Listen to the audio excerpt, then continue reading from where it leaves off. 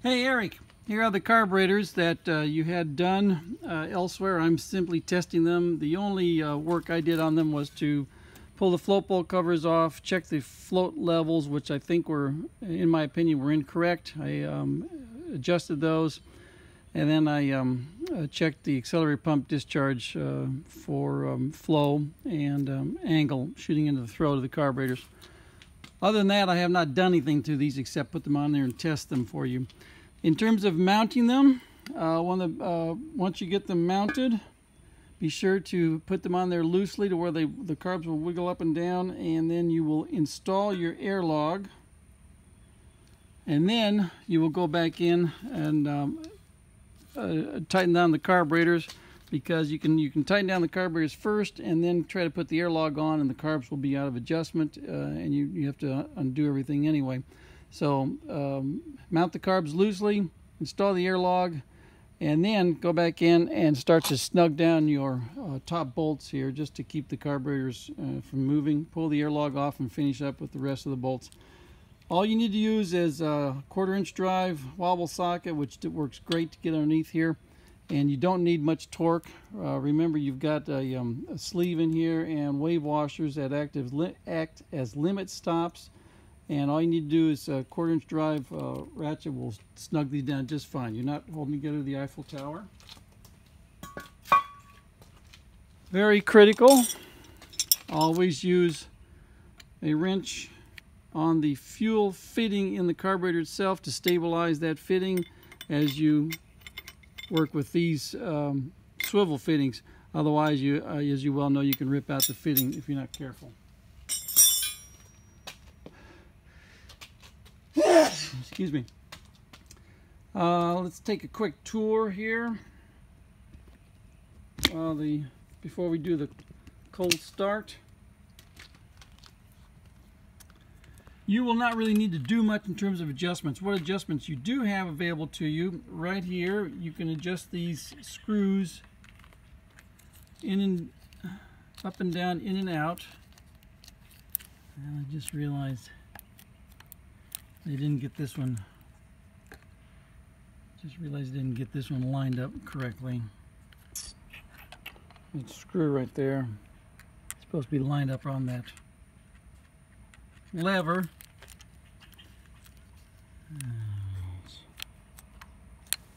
Anyway, what I was going to say is these screws, uh, these jam nuts and screws screw in and out to adjust the height of the levers right here so that they will both uh, be at the same level and coincide with the uh, cable coming down, uh, the choke cable coming down.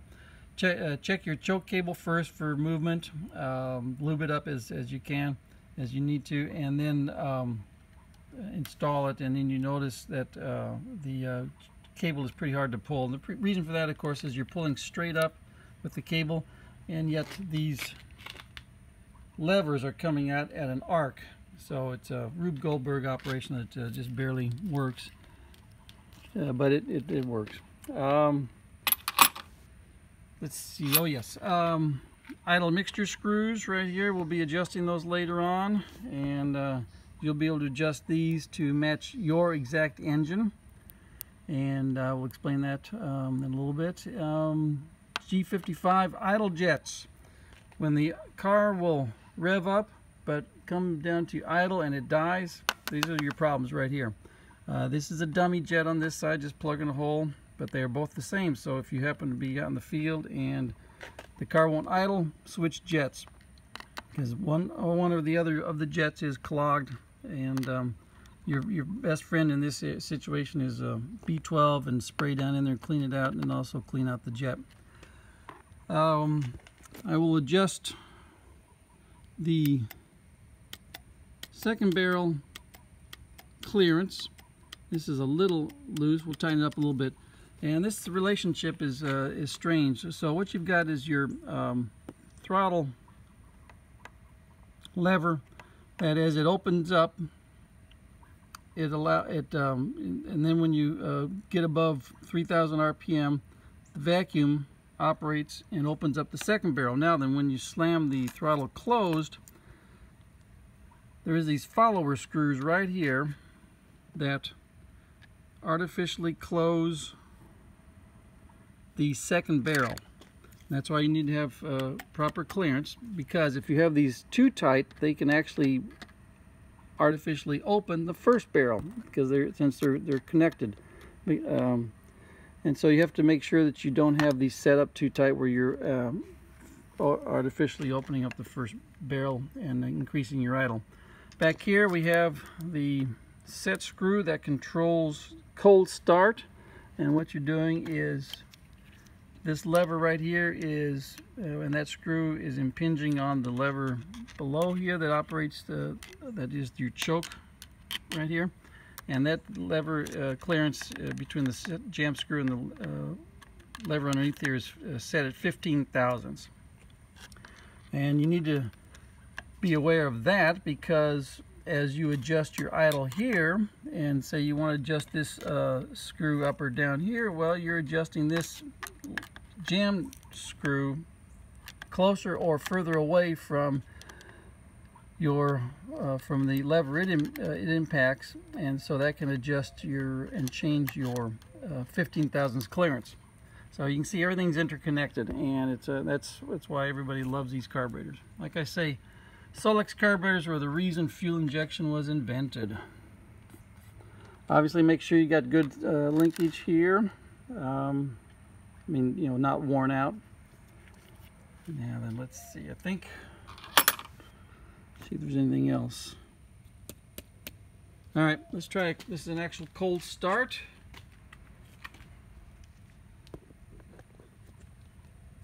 And you can't adjust the carburetors until they get warmed up. Oh, by the way, this is your, this is what you need for adjusting, called the STE synchrometer. And the version you need is this one right here, the BK 1 to 35 kilograms per hour. Right out of the box, this is perfect for the 190 SL uh, Solex. See, batteries connected. Um, okay. See, I think we've got everything going here. Oh, um, let's see. Obviously, make sure you got a good fuel pump. I think I saw in your pictures you got a new fuel pump. All right, so we're going to choke. And you notice when you're choking, you're actually moving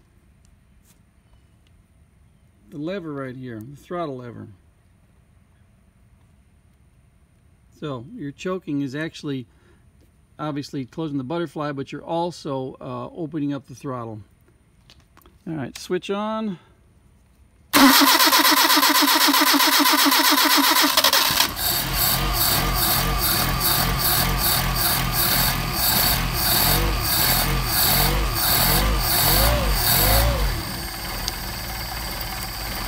That's not bad cold, not bad at all. So we're going to warm these things up so we can adjust them, to show you how to adjust them. I've already adjusted them, that's why it's running so nicely.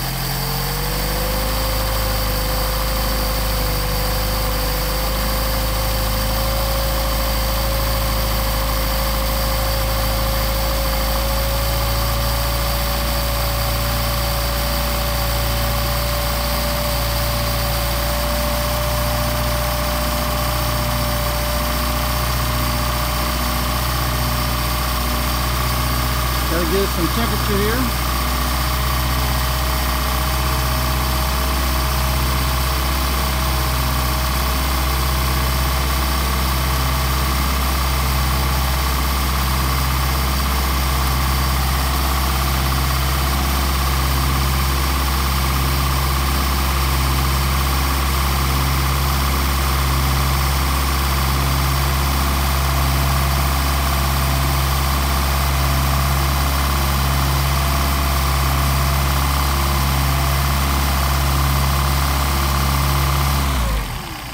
go get my flashlight.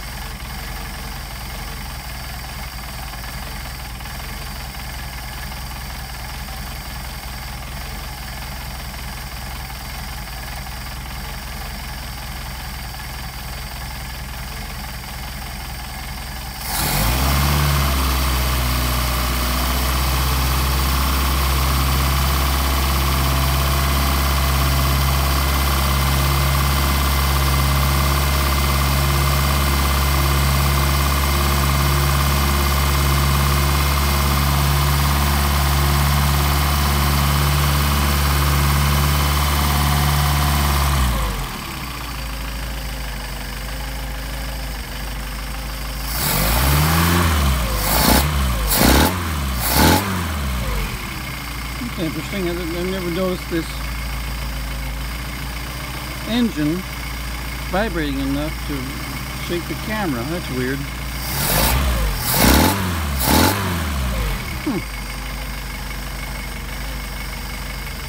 All right, thermostat is open. Okay.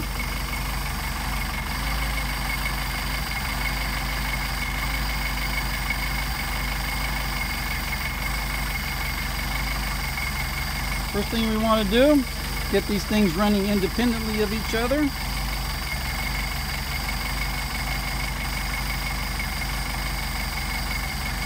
Disconnect the throttle linkage.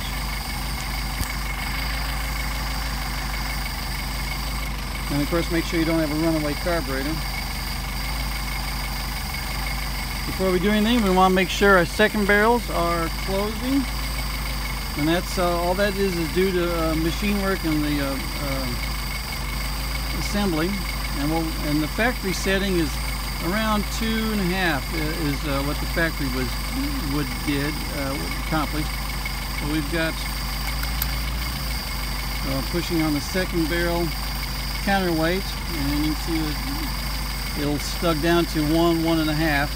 Now that, that probably is just a tight uh, fit on the shaft, and those should wear in eventually. Same thing over here.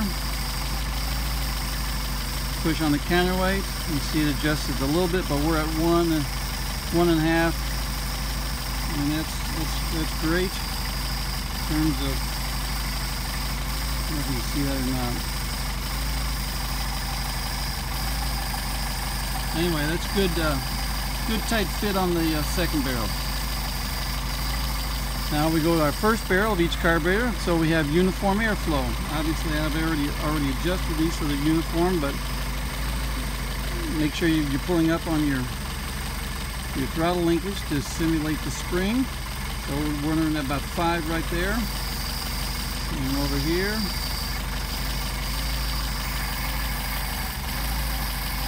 running 5 as well. Well, I've already adjusted these as you can tell. But if you want a different idle, obviously, you just adjust each screw up as, as you so desire to get whatever idle you want. Um, now we're going to adjust the idle mixture screw. And this screws in and out and uh, you screw it in, you're going to get, uh, you're going to decrease the idle when you screw it out, you're going to decrease the idle, and what you're going to do is uh, get the midpoint to where the, I'm sorry, that's the G55, my bad, over here. So we're going to screw it in until the engine stumbles, back it out until it stumbles, and get the midpoint.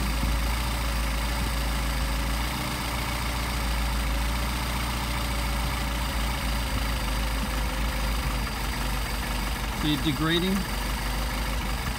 Alright, let's back it out recover.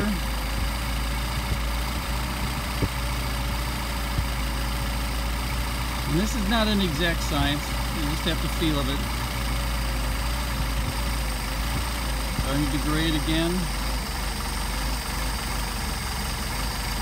Go back in. Let it recover. Now what I like to do is use this engine analyzer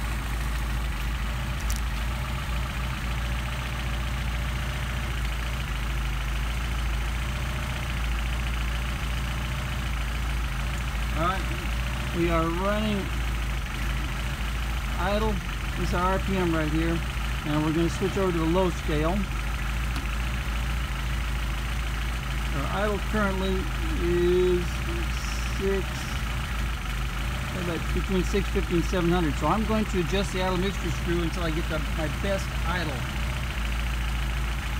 And you'll see the as it how the RPM will degrade and then we're going to get our best our maximum idle there we go, dropping, backing out.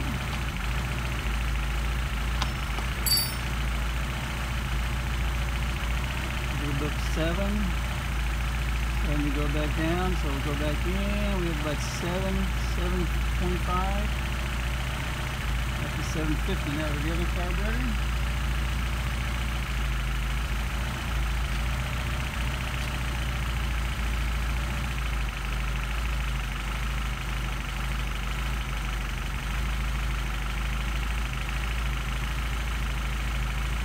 Decrease in idle is I pulled up on the uh, second carburetor's throttle linkage. Coming back out.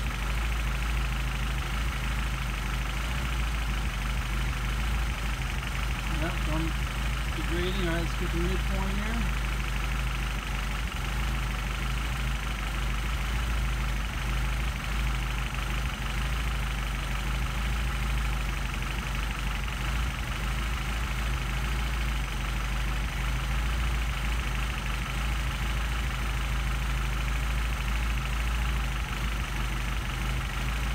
as I say, it takes some feel and a little bit of time to do this. It's not exact science.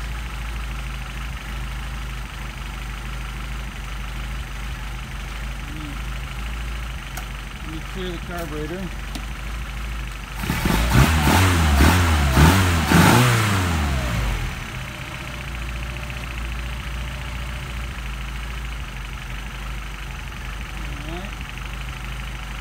So you got nice idle six and change. I'll double check that with idle mixture screw. 650. Picked up a little bit. It's starting to go back to grade. Oh, it's just, just very minute. Eighth of a sixteenth of a turn.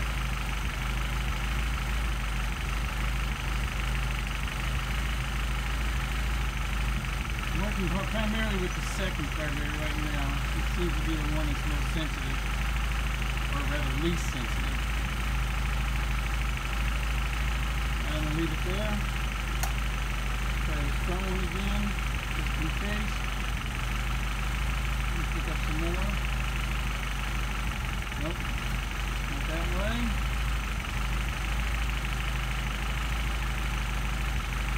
Yep, we're good where we were. Back on the high scale and clear.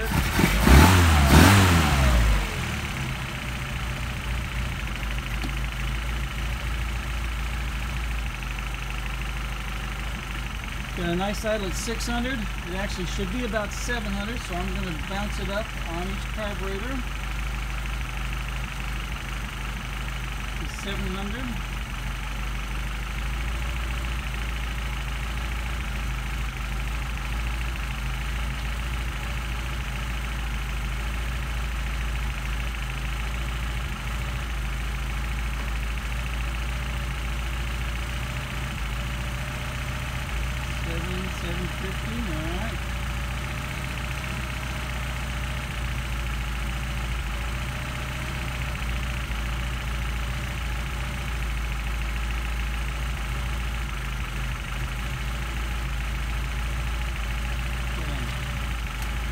Now we come back here.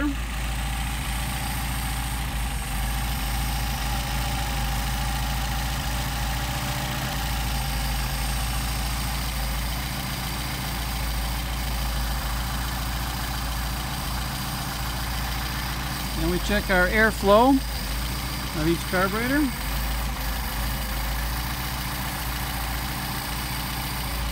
see we're running six.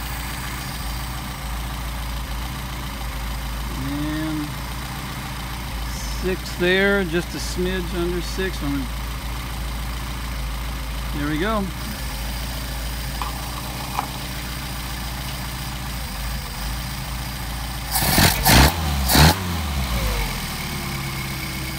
All right, try a hot start.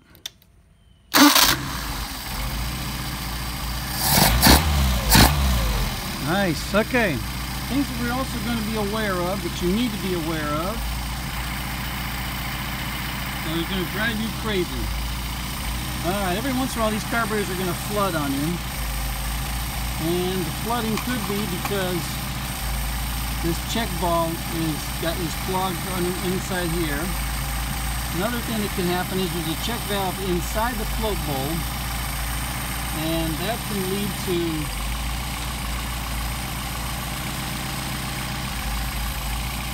the discharge nozzle dripping fuel, which will give you a running miss. Right now we're okay.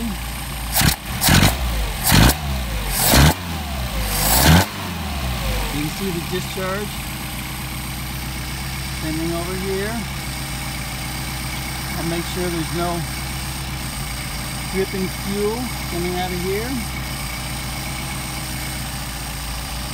Another thing you have to be aware of is the um, what I call the pre-atomizer. This device right up inside here. Make sure they're not loose. You just stick your finger in there and make sure they're not loose. They will loosen up on you. Ah, that one's loose. Look at that. Alright, good thing we checked it. Alright, how about over here? The first barrels, if they're loose, they're a direct conduit right into the uh, float bowl and they'll just flood the engine. Okay. I believe you've got a good set of carburetors here that will do just fine. They are equal to, and in some instances, better than factory. I am at your disposal if you need any questions answered or have any comments. Oh, uh, by the way, idle mixture screw on the second barrel is closed off. The idle mixture screw is closed off. It only the only idle on the first barrel of each carburetor.